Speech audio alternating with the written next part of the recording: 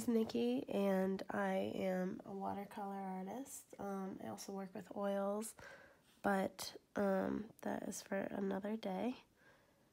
So today I'm going to be talking you through my process, um, or just kind of the things that I'm thinking about as I work and a little bit about the work.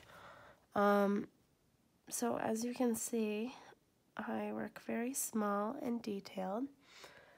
And if you guys um, hear me stop talking at any time in the video, it's because I have to concentrate really hard. Like right now.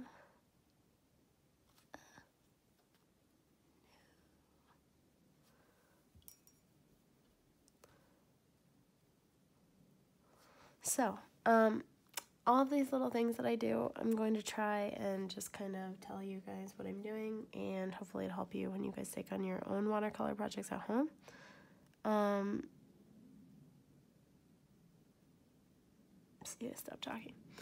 Um, so anyways, this is Wrigley Field. Right now, um, I'm working on sort of the middle ground of this painting. The foreground is done. When I paint with watercolor, um, I work from front to back um, as far as the imagery goes. So, for example, when I work with oil, um, I do the opposite. I work from back to front. And if you guys see the light change dramatically, it's because I'm working next to a window. Um, I don't have a ton of like good daylight in my house, but I do what I can. And um, so it's always best to paint in daylight because you're going to get the truest colors. So, um, yeah, the sun just came back out, yay. But, um, so anyways, I work from front to back with watercolor. So that's why the foreground is all finished, and um, now we're kind of working on those in-between spots. So when I'm painting, I'm pretty much just focusing on shapes um, and kind of seeing the shapes as I'm painting. I do work from a photograph. Um, I photograph all of my scenes multiple times. Um, you know, I go there over the course of a few days and take a bunch of pictures at different times. And then I kind of compose um, in Photoshop the scene that I want to paint. And I actually um, work from a bunch of different photos as I'm working on the project. And I put different people in different places. And it's very stitched together. But it does give you, um, for this collection, kind of the most ideal picture. Um, that's what I'm going for. It's kind of the nostalgia of, in this case, going to a game or, you know, whatever the memory is. I also do like cities and universities. So, um, the theme for this collection is nostalgia. So I want the pictures to look um, just sort of ideal and a lot of energy and emotion and almost like a memory captured um, in one painting. And as you can see, I work really, really, really small, you guys. Um, I don't even know. I'm going to try and get a better um, setup so that you can see closer as I work, but I, jeez, the light. Uh, um, as you can see, I work, I put like dots of color in, um, and part of that is just my style. Part of it is that I really do believe like um, the qualities and details. And that's true in a lot of things. Like, you know, if I paint a thousand details at the end of the painting in the picture, I mean, it's really going to look super crisp and clean and pop. And it's going to be interesting to look at. So I paint so, so small. Um, and it also just kind of relaxes me. So, if I stop talking, it's because I have to concentrate on the tiny dots.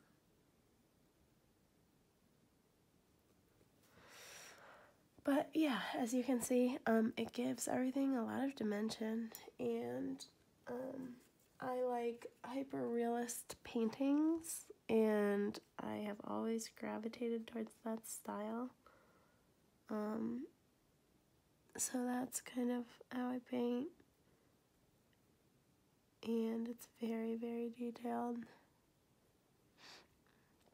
So with watercolor, um, I guess a little bit about the technique. Like I said before, I paint in shapes. So, um,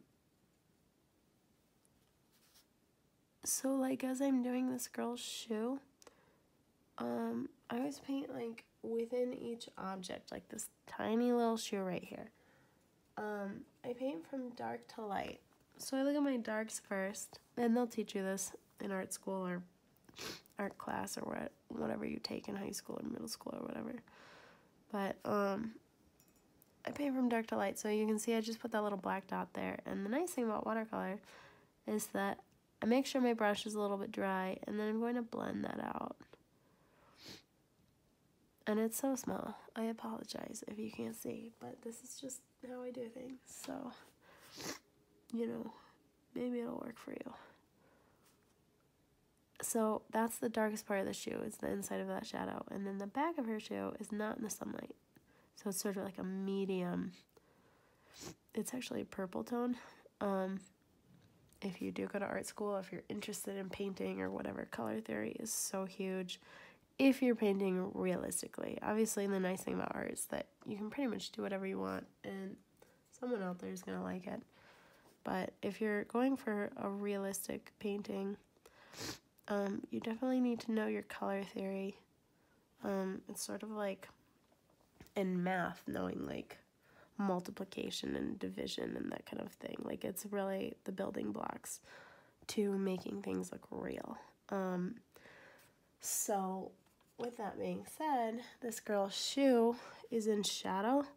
Um, almost all shadows are shades of purple because sunlight is, if you're painting like a daylight setting or something outside, the sun is um, like a yellow orange and its opposite color is purple. So all of the shadows in this painting have some purple, some sort of purple shade in them. It doesn't mean that the entire color is purple, but um, I, yeah. I also just kind of love that. I'm a total science nerd, and I geek out on color theory. It'd be like that sometimes. So now I'm starting on this shoe. And, um, I'd like to explain how my brain is working right now, but I kind of can't. So these are just like medium tones of purple, um, because this shoe is a little bit more in sunlight. And as you guys can see, like I don't paint super super realistic, like where I'm really getting down to like the laces. I just capture like the gist of whatever object I'm painting, and it comes through. Like you know, if I pay attention to um, the lights and the darks of whatever object I'm painting and like really pay attention to what I was just talking about, like with the the colors and the tones and the shades, um, it does end up looking really real. And, um, oh crap. Ugh.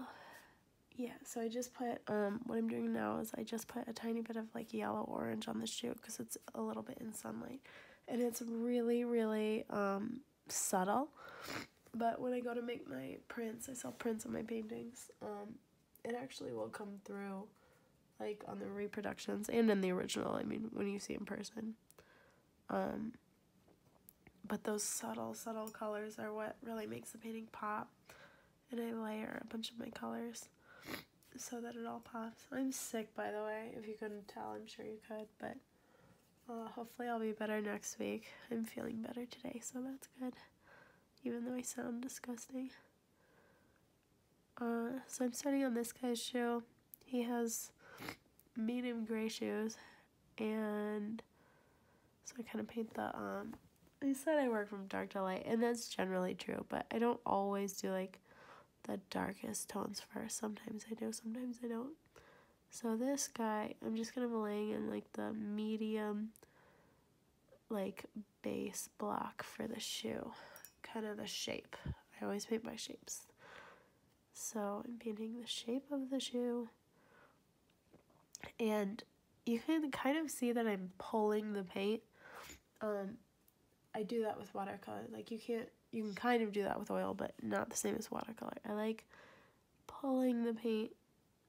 Now I'm laying in the darkest shade on this guy's shoe. So it's at the very back, it's in shadow. And even though this is in shadow, this is like a brown black tone. It's not necessarily a purple. A little bit purple. So yeah, the darkest point is going to be the back of his shoe. And I get right up there to his skin line. You never want um like outlines on your objects. Like you don't want white outlines or black outlines. And even if the line like between his shoe and his leg becomes invisible, that's okay because that is how it looks in real life. I don't know if what I just said made sense, but hopefully someone understood. Alright, so I'm gonna clean up that edge. So if I want to clean up an edge, like right now, his shoe's sticking out too much, um, and I want to kind of comb it down, I just clean off my brush, get it completely clean, and then I go back out from this edge, and I go back in, and I like kind of wipe it away very subtly. And now it's trimmed. So I'm pulling some more medium because it's that shade's a little darker than I originally painted. So I'm putting in a little darker medium tones for the base of his shoe. And this my techniques can be applied to like anything you paint with watercolor. Um, I just do them very, very small. Like I paint this guy's shoe for like 20 minutes and I do that on my whole painting and then it becomes like this magical little world. But um, the point I'm trying to make is that you can paint this, you can paint with this technique on anything. So like if you did a house like this or something, or like a bird or something, um, it would still work for you. Just paint with shapes.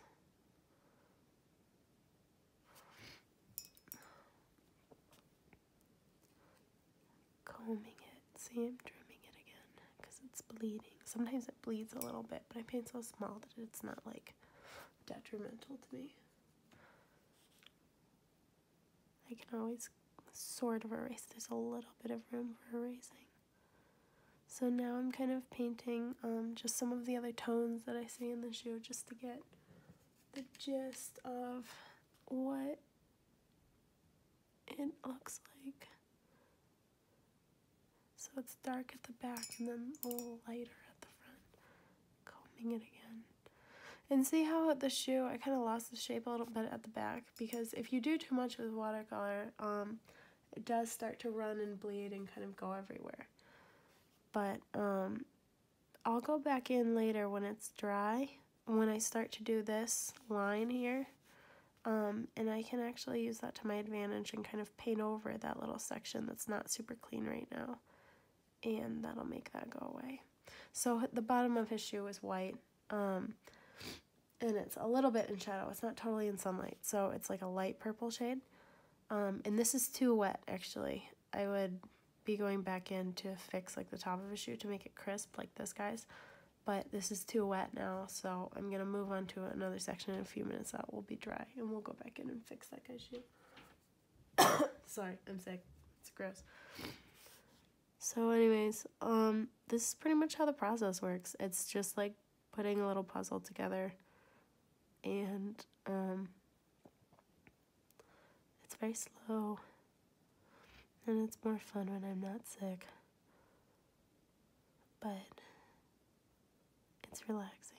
So I just put the base on this guy's shoe, um, just kind of that medium tone again.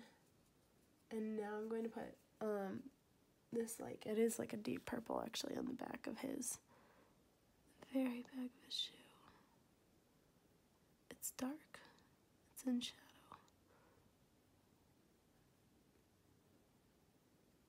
So we're going to put that tone in.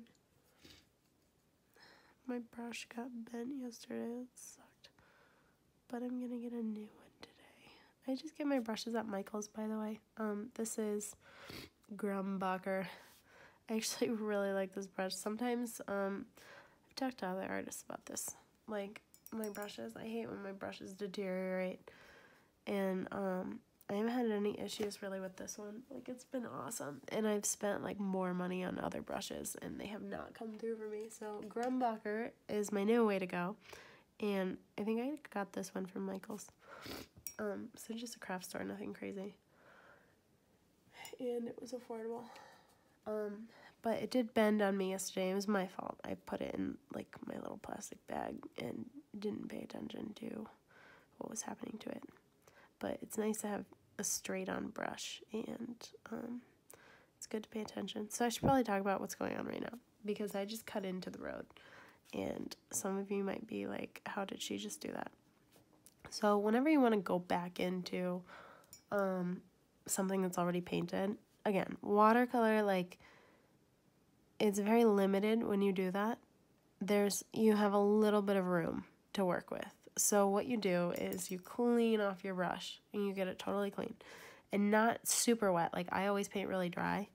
Um, so it's a little tiny bit wet and then you just kind of like go over that spot a bunch of times like you saw me do just like that and it will pick up the color that was on the paper. And I'm really careful with my brush in my hand so you know I'm pretty steady with it when you do that kind of thing. Because what will happen is if I were to do that too many times the paper will start to peel. And that is the worst thing that can happen in watercolor when the paper starts to peel. Because um, there is no coming back from that. The color sits in terrible spots and it starts to get blotchy and it definitely doesn't look real. So we try not to do that. But that looks pretty good. His shoe is actually like too big for his um, body now.